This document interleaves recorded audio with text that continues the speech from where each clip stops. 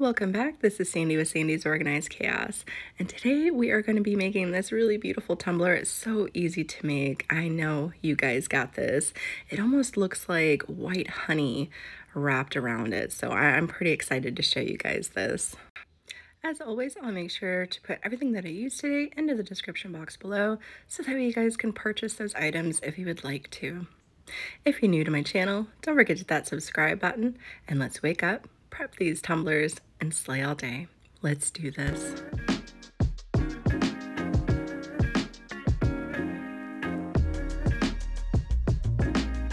All right, we are jumping right into it here. I have a 20 ounce skinny. This is just a double walled stainless steel tumbler that I purchased through the Stainless Depot company.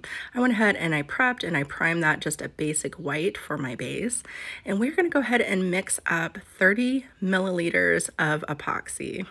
Now I am using my quick dry epoxy from Alumilite. If you don't feel comfortable using your quick dry or a speed coat epoxy, then go ahead and just use your regular kind. But I like using this when it comes to making these swirls because I know everything's gonna stay put once I am done. Now, since I am using that quick coat epoxy here, I am going to be kind of working a little bit quicker uh, than I normally would because you only have a open time of about 10, 15 minutes. So you want to move a little bit quicker when it comes to doing your swirls and stuff. So I'm to go ahead and get this mixed up and then I'm going to start divvying up this epoxy into two other little measuring cups because to achieve that swirl look today, we're going to be putting our glitters and everything right into the epoxy and applying it right to the tumbler. Super easy. I know you guys got this. So now here I'm going to put five milliliters into each one of these little cups, saving about 20 uh, milliliters in my my main cup there for my base so that way I have enough to spread around on my base. So 5 mLs go into each one of those other cups. So right into the one with the 20 milliliters of epoxy because that's going to be our main base. I'm going to be applying this Pearl Ex powder pigment. I got it right at Hobby Lobby and they sell it at Michael's as well. You just want to use your favorite white mica powder to color up your, your base coloring here. And this is what's going to give us kind of that almost looks like white honey look on our tumbler. So I'm just adding a little bit more. Just again, you just want to you want to get enough powder in there until it gets that kind of shimmery look that you would like. All right, I'm gonna set that off to the side and I'm gonna grab another one of these little containers that we divvied up five mLs into. I'm gonna go ahead and put my favorite white glitter into there. This is called Agenda and you can purchase that glitter at socglitters.com if you would like to. If not, just use your favorite white glitter that you already have on hand. Now into my last little uh, cup here that we, we divvied off five mLs, I'm gonna add some bubbly. This is just a champagne and opal mix. It's like a chunky mix and I thought it went really well with what I wanted to do today. So I'm gonna go ahead and put a little bit in there as well, kind of stir that around, make sure it's nice and stirred. And now we're gonna get started on our base. So I have my 20 mLs of the white mica powder that we mixed up here, and we want to spread that all over our tumbler. Again, this is gonna be our main base, and we're gonna be applying the other glitters kind of in a swirl motion over top of this, but this is what is initially gonna give us that white honey look. So we're gonna go ahead and apply all 20 mLs of that epoxy right onto our tumbler. Now don't worry about any little swirl marks that might be in the mica powder and everything like that because we're going to come through and add some swirls anyways. So just get it applied and place it onto your turner. Now this is right after I place it onto my turner. We're moving right into our next step. I'm going to go ahead and take my torch and pop any of those little bubbles, kind of get those out of the way now. And then we're going to move right into doing our swirls. And again, the reason why I'm moving so quickly is because I'm using that fast set and we only have so much time. All right, so let's go ahead and move right into putting our swirls right into that wet epoxy there. I'm gonna be starting out with my bubbly. You could start out with either or, you know, it doesn't matter. There's no right or wrong when it comes to making art. But the only thing you wanna do is just make sure that your swirls are all kind of set in the same uh, direction. So you see they're all kind of angled the same. They're all kind of going in the in the same motion there. That's all you want to do. It's extremely simple. So I lay I layered on a little bit of my gold. Now I'm going to go ahead and layer on a little bit of my white as well, just going right in between layering that up really good. You see I'm adding a bunch, I'm adding a little bit here and there, and you're just gonna kind of come through and just kind of help it out with your popsicle stick just a little bit to make sure everything is kind of getting where you would like it to. And don't forget to uh, get a little bit on the bottom there. You, you know, got to dress that up too. But I don't want you guys to fuss with this too much. You're just gonna get your colors layered on just like this. And then after you get your colors layered on, we're gonna come through and we're gonna take our gloved finger and we're gonna start kind of dragging our finger through everything to kind of mix everything just a little bit more together. So again, not fussing too much. We're just gonna take a gloved finger and we're just gonna come through and lightly in the same pattern as everything else. See, I'm going in the same direction, same angle, and I'm just gonna kind of drag everything around just a little bit, just to help it out just a little bit, because again, I, I know you, you guys are probably like, oh my goodness, yes, we know. I'm using my, my fast set epoxy, so this is gonna help everything kind of mix together a little bit more because that fast set's gonna start curing here shortly.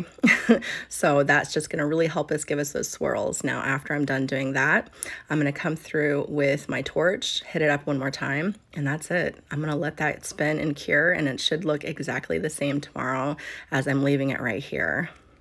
So while that cures, we're gonna go ahead and get started on our decals. So I found these decals on Creative Fabrica and they are so every single one of them, the bee one, the flowers, and the honeycomb pattern, all off of Creative Fabrica. I absolutely love every single one of them. Um, this one right here, I'm gonna put the dimensions and everything down in the description box for you guys.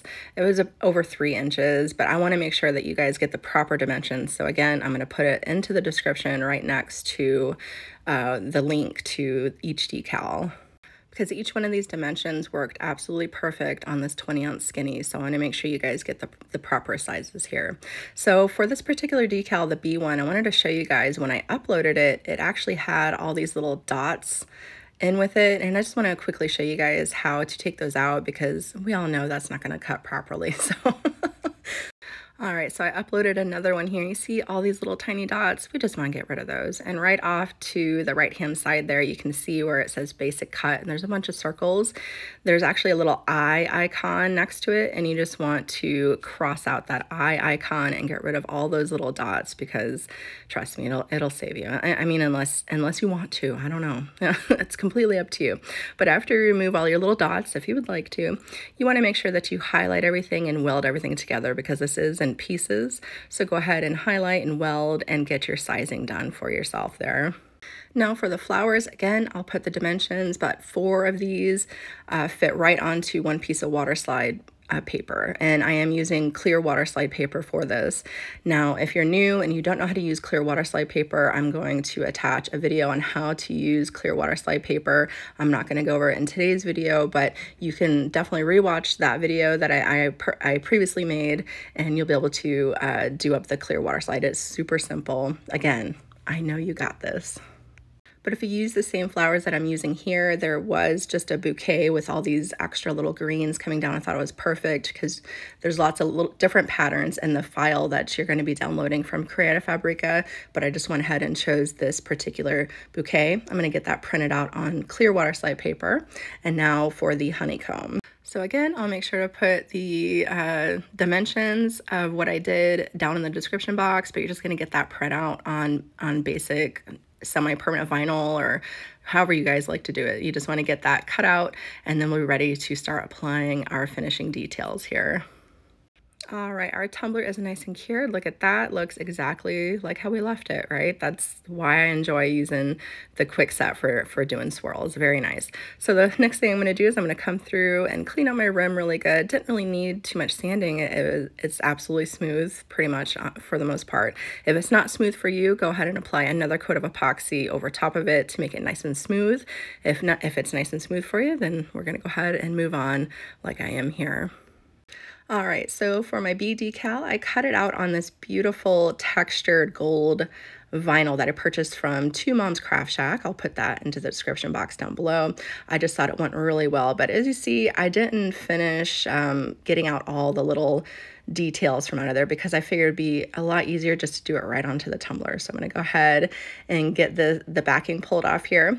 And when I go to apply this to my tumbler, I want to place it roughly in the middle or in the, in the center of my tumbler because we're gonna be doing stuff at the top and at the bottom of it. So you want it about in the center of your tumbler there. So just go ahead and get that burnished down. Now, I like doing this trick when I have lots of little things that need to be weeded. It, like I said, it just makes it all easier because especially when we're working with a circle, I don't want to accidentally move something around and then my circle kind of gets deformed and, and all that stuff. So I'm just gonna go ahead and weed everything right off the tumbler here. But I really love this decal. It says, be well, be loving, be sweet, be kind, be strong. I really like that, super cute. All right, let's move on to that next step. So the next step is we're going to start putting on our honeycombs and I want that to go behind my water slides. So I already have my water slides all cut out, sealed, cut out, ready to go. And I'm just going to use that to kind of figure out where I want my honeycombs to be. So I'm just going to take that. I know I wanted some flowers at the top and at the bottom. I want some around the back as well. So I'm just kind of figuring out exactly where I'm going to be putting these honeycombs. So after I get that figured out, I'm gonna go ahead and take groupings of three and I'm going to place that not directly in the center. I'm gonna place it off center because once we put our flowers down, it all kind of makes sense, you know? So I'm gonna put some off center off to one side at the top. And then I know you can't see it right here, but I'm gonna do the same exact thing where I kind of put it off center on the other side and I'm gonna bring it up here so you can see it. There you go. So just a little bit off center so that way our flowers have room to be up there as well. Then I'm gonna take this rest of that large grouping right off to the side there and I'm gonna place that right into the center of my the back of my tumbler here. And you just wanna make sure that it's even with the front. So I'm just going to take that tube out and then I'm just going to eyeball it. There we go. just want to make sure that it's about center with the front. There we go. And then I'm going to come through and I'm to add just one extra off to each side. So one extra on the top here, just right off to the side and then one extra right off to the bottom. I just kind of like the way that looks after the flowers get applied and everything. It all kind of ties together really well. And then I'm going to take another grouping of three and I'm going to place it on the bottom, just making sure that it's lined up with my front here. So it all kind of makes sense. And there we go. Now our template is down. Now, it was a couple years ago, I actually made a coaster very similar to this, and I used alcohol inks, which you could absolutely use alcohol inks to do this and kind of spritz it with your rubbing alcohol to give it more of that kind of honey look. But I wanted to go ahead and just use this really beautiful pop of color. It's called Blush, and it looks exactly like vintage blush from Rust-Oleum. There we go. I couldn't remember the name of it there for a second. But I have a little makeup sponge that I purchased through the Dollar Tree there. Just a real cheap sponge or you can use a little paintbrush, however you guys want to do it. You know, whatever you have laying around, just use that. It doesn't, it doesn't matter. You could even use that paper towel you have sitting there. And you just want to dab some of that coloring right around our honeycomb pieces. Now, as you've seen, I'm just using a little bit of the coloring right off the lid. I'm not fully saturating this. I just kind of want just that real faded, just very light coloring around it. So nothing too crazy, just just a little bit of color to give that, that honeycomb a little bit of a definition. Now to kind of blend it in, I'm gonna show you guys once I turn it around here.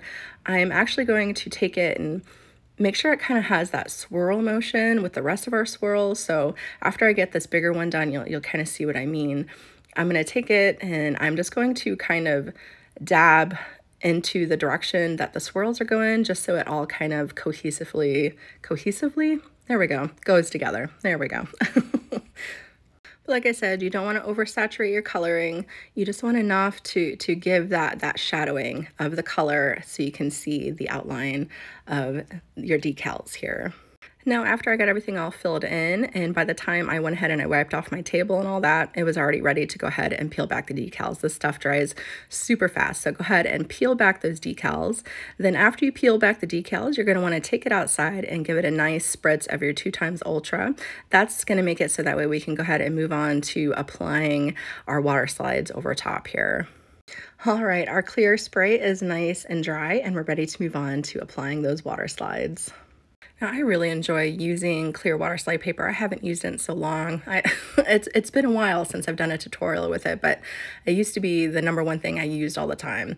So I'm here, I am going to just line up everything I wanna do. Now at the top there, you've seen, I just wanted to line it up and I wanna make sure I cut back anything that I'm not gonna need. So I just go, went ahead and removed a little bit of that extra stuff along the top. I set it in my water and now I'm just gonna slide that right off onto my tumbler. Now you just wanna adjust that down. I didn't mind that it was covered covering up some of the letters. I didn't want it covering it up too much. You still want to be able to read what it says up there. And I'm going to go ahead and form that down right along the bottom there so that way it kind of gives it that just extra look of wrapping around the bottom. I'm going to go ahead and get all that extra water out from underneath. But if you see, I didn't place it all the way over the honeycomb. I just placed it halfway over that honeycomb. So that's pretty much what I'm going to be doing. Just a little bit over that honeycomb to kind of give it just a little bit of a, you know, extra look there. Just a little bit over that. Make sure you bring it back up off of your wording a little bit. Make sure you smooth all that water out. And the front here is nice and done. I'm just going to wick that water away. And then we're going to flip it over and do the back as well but this is what the front should look like so far. So just a little bit over each honeycomb, and then we're gonna go ahead and flip that over. Now for the back, I wanted one at the top here, so I'm just gonna slide that off right onto the back. I'm gonna wick that water away, so just making sure that it lines up with my decal in the front. And then I'm gonna go ahead and put another one on the bottom with the greenery kind of facing up. So the greenery is coming down on this way, and then the greenery is gonna come up on this other one and it's just as easy as that. So I'm just going to continue to kind of smooth all this water out from underneath my decals. It's very important because if you don't, um, it could dry kind of like a white color and that's how you know that there was a gap underneath or there was some water underneath. So we don't want that. Just make sure you get all that water out. You're going to set that off to the side and let that dry. I let mine dry for about 15, 30 minutes just to really make sure that it's nice and stuck down to my tumbler before I get it epoxied. And then all you have left to do is getting those last finishing coats applied. I'm gonna go ahead and apply two last finishing coats. I, I do this one and then I do a second one over that. I just wanna make sure that I come through and sand that rim down one more time before I apply the very final coat. So that way, if any of those water slides happen to be up by the rim, I get those off. I'm gonna go ahead and hit it up with my torch, let that cure, and she is good to go.